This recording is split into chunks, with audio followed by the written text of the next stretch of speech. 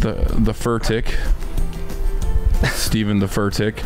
So I wanna I wanna uh, do a little. Captain little Eisegesis? do a little. The Captain Narcegesis.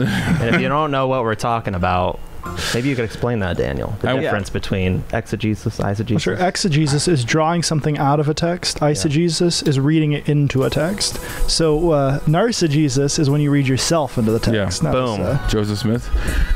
We talk about Mormons a lot, but uh, that's really what we're talking about Yeah. today when we talk about Steven Furtick and Yeah. an Elevation Church. If you don't know about them at all, it's a giant multi-campus church in Charlotte, North Carolina. I know they have a presence in Canada too, I think. Um, but And they- then obviously a huge online presence. huge. Their videos have hundreds of Oh, yeah. thousands of views. Yeah. The sermons do. yeah, and we were just talking. One of the clips we were watching, which I don't know if we'll get to, but like he said something that just literally, I don't even understand what he was saying. It made zero sense, and like the crowd was like roaring with like cheering and clapping. I was like, why? Why are you cheering? You- That didn't make any sense. I, I think one of the best ways to understand Steven Furtick is that he invited Matt Chandler to his church to speak once, and Matt Chandler preached a sermon about how God is for God's own glory and not for, mm. and you Right. should you shouldn't you're not the hero of the story. And they basically tried to kill that sermon after having invited him. To Are you speak serious? there. Yeah. Yep. And that's a great illustration of what we're talking about. Yeah. When we talk about this, I first Yeah. found out about Steven Furtick. I think it was three or four years ago. I heard his name. And I was like, "Who's that?" Yeah. And everyone at the church we were going to at the time was going crazy, playing his sermons and all that. And then I started to listen to some of the things he actually had to say. And then there was a video um, that dropped with him talking about the law of God Mm. and how.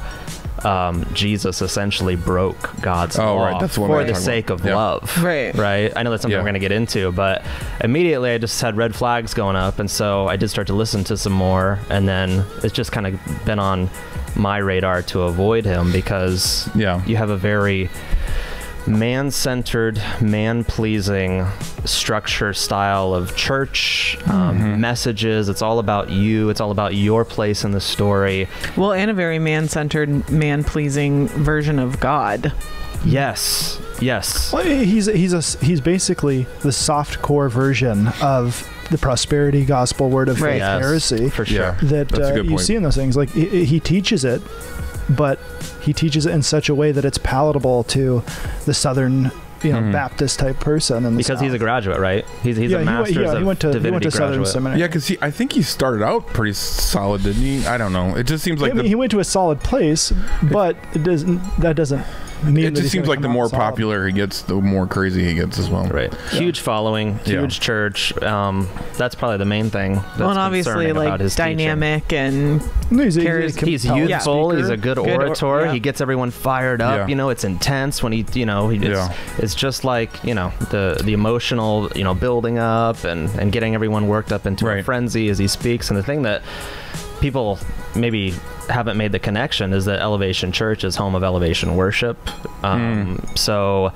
You know, whether or not you've heard of Steven Furtick, um, if you're a Christian, you've probably heard worship songs from Elevation and didn't Right. know it. Right. Um, that, so- that illustrates how important worship is to um, to the church because you think about like there are churches out there who are the most influential in the realm of music hillsong bethel Right. elevation Jesus these are places with Yeah. with he- that teach heresy just Mm. downright heresies and yet those are the songs that we're continuing um, to sing all over the world because of their influence in music Yeah. Speaking of uh, Hillsong, did you watch that that video I shared?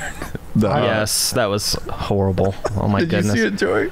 The part where he's like, the, uh, enlarge my border, enlarge Yeah, my border. the uh, what's that? What are those called? Um, oh, I can't think the, what they're called now. The super deluxe is a super deluxe one of, and it was like it was um, Carl, Carl Lentz, Justin Bieber. Justin Bieber, and my favorite part though was like they were doing this interview and then Bieber just busts out a little toothbrush.